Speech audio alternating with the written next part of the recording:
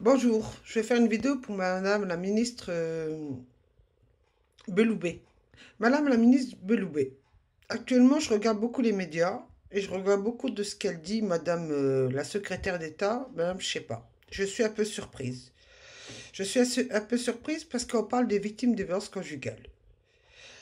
Madame Beloubé, je tiens à vous informer que moi, toutes ces étapes-là, que Madame la secrétaire d'État est en train de parler à la télé, de dire de téléphoner au 39 19 ainsi qu'au 119 pour les enfants.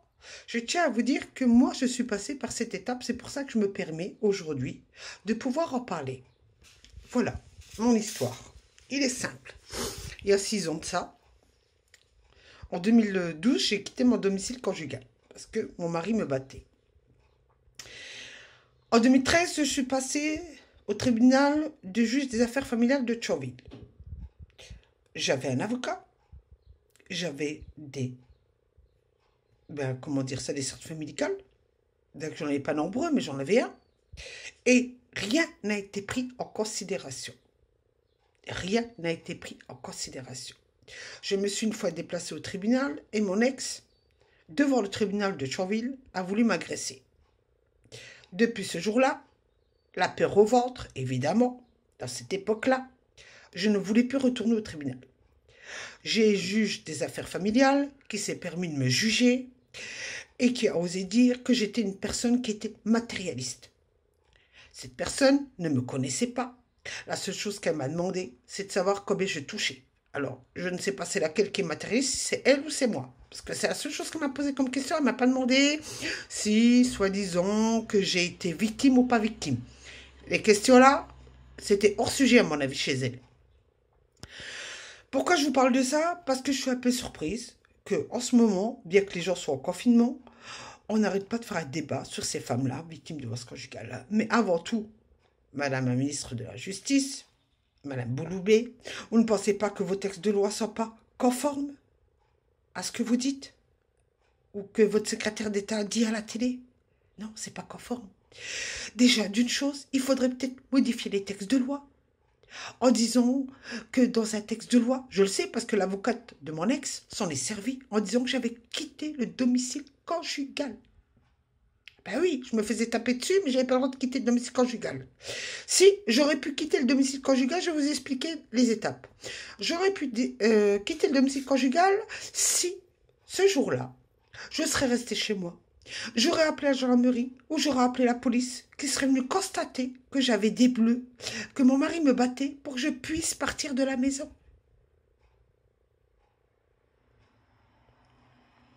Ah ben oui.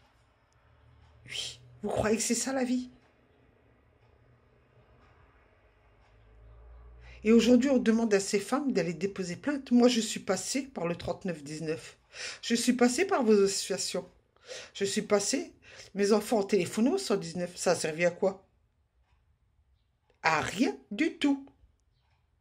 Si, aujourd'hui, en 2020, j'ai divorcé. En 2013, on a confié mes enfants à mon ex-mari. Ils étaient tout petits. La dernière, elle avait à peine deux ans. Vous imaginez? Deux ans, elle avait. Et par les petites étapes, ce qui s'est arrivé, ben, j'ai été jugée par cette juge j'ai fait appel à la cour d'appel de Metz. Et j'ai été encore jugée par eux. Parce que j'avais la grande gueule. Malheureusement, dans cette histoire, j'avais gardé mes enfants. Oui, j'avais gardé mes enfants le jour où mon ex avait ramené les enfants pour que je puisse les voir. Je les avais gardés parce que je me, je me disais qu'il y avait un truc qui n'allait pas. Ben oui, hein. Quand vous avez votre fille qui a des fesses rouges, excusez-moi, il y a à se poser des questions. Est-ce que c'est l'hygiène? Est-ce que c'est autre chose? Eh ben, une mère, elle se pose des questions. Ben non, j'ai écrit au procureur de Tchorville. Vous savez qu'est-ce qu'il m'a fait, le procureur de Tchorville Il m'a envoyé six camionnettes de, de, de gendarmes. Qu'est-ce qui s'est passé? Ben, je me suis défendue. En tant que mère, c'est normal qu'elle défende ses enfants. Ben, dans cette histoire-là, ben, il y avait une bombe acrymogène. Ben, je me suis servi. Malheureusement, il y a un gendarme qui a été atteint. Malheureusement, ce gendarme-là a déposé plainte en disant que le pauvre, je lui avais abîmé son œil. Aurait été, il avait, il avait rien du tout. Mais la justice s'est bien régalée. Elle s'est bien régalée de me juger, moi. Par contre, moi, quand les gendarmes de Famec m'ont tabassé dans la camionnette des pompiers, avant de m'emmener en psychiatrie pour calmer, soi-disant, mon état. Pour que je pète pas les plans. Ben, personne n'a vu, hein. Personne n'a constaté que les gendarmes de Famec, à l'époque, en 2015, m'avaient tabassé. Personne, même pas les médecins, là, en psychiatrie, là, du jury. Vous croyez qu'ils ont constaté mes bleus pour dire, attendez, madame, on va vous faire un certificat médical parce que des gendarmes vous ont tabassé dessus? Non, on a omis cette affaire-là. Quand j'en ai parlé à l'avocat, il m'a dit, qu'est-ce que vous voulez faire? C'est de votre faute, vous avez tapé un gendarme. Quand je suis passé devant le tribunal correctionnel de Thionville, j'ai été condamné. Hein? C'est moi qui ai été condamné. Parce que j'ai voulu défendre mes enfants. Ensuite, on m'a condamné en deux ans avec un an de sursis. Ensuite, de toute façon, je vais vous raconter vraiment l'histoire. Ensuite, de toute façon, je ne les ai pas écoutés. On m'a mis le bracelet électronique. J'ai pas accepté. Parce que j'estimais que j'étais pas la fautif. On m'a mis un bracelet électronique. Ben oui, j'ai pas écouté leurs règles. Je les ai pas respectées. Ben oui, comment j'ai pas respecté? Ben j'ai fait des vidéos sur Facebook et sur YouTube. Et j'ai et j'ai enlevé la prise qui tenait l'appareil. Et après, je l'ai remis. Ah ben, ils sont venus, ils ont cassé ma porte, ils m'ont pris de force, ils m'ont enfermé en prison. C'était le 24 août 2016. Ensuite, ben, ma, famille a pris un avocat pour me faire sortir de prison. Ben non, ils n'ont pas accepté de me faire sortir de prison. Non. Ben, Qu'est-ce qui s'est passé en prison? On m'a mis avec des criminels. Et je ne vous dis pas n'importe quel criminel. Hein. On m'a mis avec des cinglés. Une de Verdun qui a massacré une handicapée, une autre qui venait de Paris, ou je sais pas d'où elle venait, qui avait euh, massacré aussi une, personne, voilà, avec qui on vous met. Ensuite, ben, comme j'avais la grande gueule que je me laissais pas faire, ben, j'avais pas me laisser faire, on m'a mis avec des criminels, j'avais pas me laisser faire, il fallait bien que je me défende. Ben, j'avais la grande gueule, moi je tapais pas les gens, je parlais juste avec un mot. Ça les excitait, ça les énervait. Ben oui, ben, les gradés de mesculés n'ont pas digéré que quand une juge des affaires familiales a déposé plainte contre moi, je me suis pas laissé faire et j'ai pris un avocat pour me défendre. Et j'ai déposé plainte aussi contre elle. Non assistance en personne en danger. Ben, qu'est-ce qui s'est passé? Ben, les gradés de mesculeux n'ont pas accepté. Déjà, ils n'ont pas accepté que, soi-disant, un gendarme a été blessé. Alors, on avait ça dans mon dossier. Eh ben, on m'a fait comprendre les choses. On m'a tabassé. On m'a abîmé la jambe, ligament croisé, plus de cartilage au niveau de la rotule, handicapé, prothèse à 60 ans. Voilà mon histoire. Oh, mais ce n'est pas terminé comme ça. Hein. Croyez pas, madame la ministre. Ça s'est pas terminé comme ça. La juge des affaires familiales a déposé plainte. Je suis passé devant le tribunal. Le gendarme, il a déposé plainte parce qu'il voulait des indemnités. Ah ben, la juge de Thionville et la juge de Metz, ben, ils ont su lui donner des indemnités. Vous inquiétez pas. Il avait rien à l'œil, mais c'était pas grave. Vous avez touché un gendarme. Mais moi, les gendarmes qui m'ont tabassé, là, de la camionnette des pompiers, ils n'ont pas été condamnés. Les gendarmes de Mesqueleux, ils n'ont pas été condamnés. Et le procureur général de Metz m'a fait savoir par courrier, ainsi qu'à mon avocat, que de toute façon, il allait poursuivre personne. Que c'était moi la fautif. Et après, on dans les médias, Mesdames, victimes de violence conjugale, vous êtes en confinement Déposez plainte. Oui, bien sûr. Bien sûr, elles vont déposer plainte. Et qu'est-ce qui va leur arriver? Ce qu'il m'est arrivé, moi? Que votre tribunal de Chauvet de Metz, là, il est où le respect? On m'a manqué de respect. Hein? Pendant trois ans, trois ans de ma vie, on m'a mis sur surveillance. Trois ans, on m'a un, on m'a obligé d'aller voir un psy. Pendant trois ans, on m'a dit de prendre des médicaments. J'ai pris 35 kilos on s'est soucié de mon état de santé, de savoir que j'allais avoir euh, des soucis de santé parce que si je prenais du poids, ça allait pas pour ma jambe? Non. On s'est soucié de santé, si je pouvais aller travailler, je pouvais pas aller travailler? Non. On s'est soucié de santé que je suis handicapée aujourd'hui à vie? Non. Non, mais ils ont su me dire, quand j'étais en prison, par vidéoconférence, une juge de Thionville et une juge de Metz, quand j'ai voulu sortir avec mon avocat de prison, su me dire, on va vous donner une leçon de vie, vous allez rester en prison. Vous croyez qu'on m'a fait des soins quand j'étais à Mesculeux Non, on n'a pas fait de soins au niveau de ma jambe. Hein? Ça s'est passé le 17 janvier 2017. Et je suis sortie de prison au mois de février 2017. Pour vous dire. Ouais. Eh ben, tout ce temps-là, j'ai pas eu de soins. Tout ce temps-là, tout le monde s'en foutait. Ah si, quand je suis passée devant le tribunal de Metz de Thionville, on a su me dire, madame, vous allez arrêter vos vidéos. Ah oui, la juge des affaires familiales, par contre, on a pris son dossier en main. Ah, vous inquiétez pas, hein, jusqu'en cours de cassation aujourd'hui. Ça, on a su le faire. Hein. Mais quand il s'agit des citoyens comme nous, non. Je ne sais pas. Je pense que Thionville, tribunal de Thionville et tribunal de Metz, vu dans mon dossier de divorce qu'on a parlé d'un de mes frères qui faisait beaucoup de bêtises, on a pris en considération le nom de famille. Pour m'en foutre plein la poire. Et vu que j'ai des, antécédents parce que j'ai perdu un frère qui avait 13 ans, d'une balle de la tête, ça tout le monde le sait, on a pris ça aussi en considération, en se disant que de toute façon, cette famille, c'est des vauriens. Mais je tiens à vous dire, vous, je sais que vous regardez mes vidéos, vous, le tribunal de Chorville et vous, le tribunal de Metz. Parce que de toute façon, à chaque fois que je suis passé au tribunal, vous m'avez fait, ouais, vous vous rendez compte, vous faites des vidéos. Et vos avocats, là. Hein? Ben, je tiens à vous préciser, oui, je fais des vidéos pour me défendre. Oui, on est en confinement. Oui, j'oublie pas ce que vous m'avez fait. Hein, que pendant trois ans, quand j'allais en vacances chez ma sœur, pendant trois ans, vous m'avez fiché comme une criminelle. Mais vous n'êtes pas regardé, vous êtes les pires criminels qui existent parce que vous jugez des gens sans les connaître. Vous voulez faire passer les gens pour des criminels, en réalité, les plus gros criminels, c'est vous dans vos tribunaux. Pour qu'un procureur général de Metz ose me dire on ne poursuivra pas les gens qui vous ont abîmé la jambe, la jambe, qui n'a pas poursuivi les gens, les gendarmes qui m'ont tabassé dans la camionnette des pompiers de Famec, mais que moi j'étais condamnée, je suis un peu surprise. Hein. Et aujourd'hui, qu'est-ce qu'on voit? Ou dans les années passées, qu'est-ce qu'on a vu? Oui, que des magistrats et des avocats se plaignaient de la réforme judiciaire. Ben oui. Mais attendez, pourquoi vous vous plaignez de la réforme judiciaire vu que vous-même vous faites des conneries? Vous vous plaignez de la réforme judiciaire, mais vous, vous faites des conneries quand les citoyens passent dans votre bureau.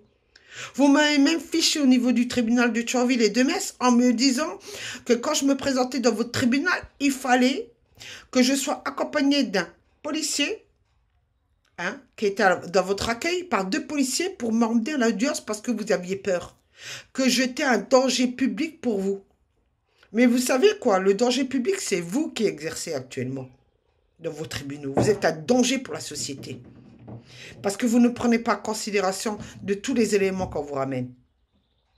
On vous ramène des vrais éléments. Et en réalité, c'est nous, les femmes victimes de violence conjugale, que vous ne reconnaissez pas. Parce que vous ne reconnaissez pas vraiment les vraies femmes victimes de violence conjugale. Vous reconnaissez celles qui savent aussi manipuler le système comme vous, vous manipulez le système. Oui, Madame la ministre de la Justice. On m'a reproché de faire des vidéos. Oui, aujourd'hui, oui, le tribunal de Chauville, le tribunal de Metz, vous pouvez m'observer en vidéo. Je continue à faire mes vidéos pour défendre les femmes victimes de violence générale, pour comme ça, il n'y en ait plus une qui subisse ce que moi j'ai subi. Que quand elle quitte son domicile conjugal, vous lui reprochez d'avoir quitté le domicile conjugal. Parce que sous prétexte, sous prétexte, Hein, qu'il fallait qu'elle attende que le gendarme ou la police viennent dans le domicile pour constater qu'elle est bien, qu'elle a bien été tabassée. Moi, combien de fois que mon mari m'a tapé dessus? Quand j'habitais à Bar-le-Duc. Combien de fois que les gendarmes sont venus? Non, du moins la police est venue. Vous croyez quoi? Qu'est-ce qu'elle a fait? Elle est partie comme elle est revenue. Croyez qu'ils m'ont défendu? Ils m'ont pas défendu. Alors arrêtez, vous savez quoi? Pas pitié. Madame la ministre de la Justice, dites à Madame Shepa qu'elle hérite son petit baratin à la télé, là, de dire aux femmes, Mesdames, faites le 39-19 et faites le 19 et le, 4, le 119 pour vos enfants. Non, la société n'a pas changé. si vous déjà, vous ne changez pas vos textes de loi pour les protéger.